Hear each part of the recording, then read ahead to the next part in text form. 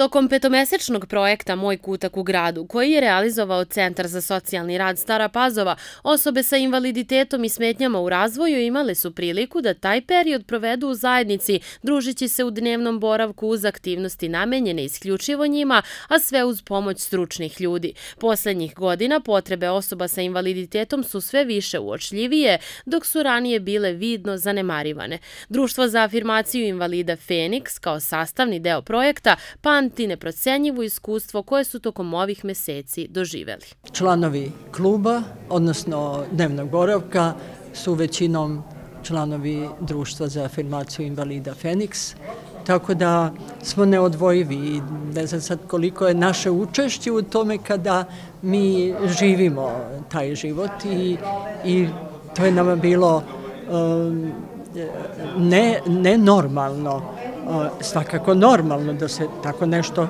i dogodi i da se uradi, ali um, mi smo se uklopili bez problema.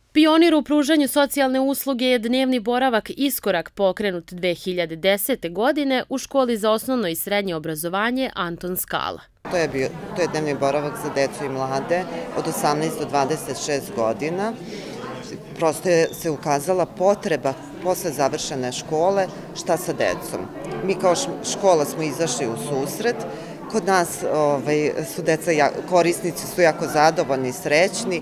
Koliko je važno osnivanje dnevnog boravka za invalidne građane iznad 26 godina, govori činjenica koliko im je on pomogao tokom projekta u socijalizaciji i razvijanju sposobnosti. Zaista svi mi zajedno možemo i treba da organizujemo nešto što bi bilo na njihovo dobrobit, da ne mogu da žive samo u kućama, da budu u izolaciji, da budu marginalizovani, nego da, eto, makar jedan kutak svoju gradu dobiju jedno mesto gde će moći svakodnevno kada godim to vreme i prilike dopuste da budu tu. Centar za socijalni rad, Društvo za afirmaciju invalida Feniks i svi saradnici se iskreno nadaju produžetku projekta koji život znači.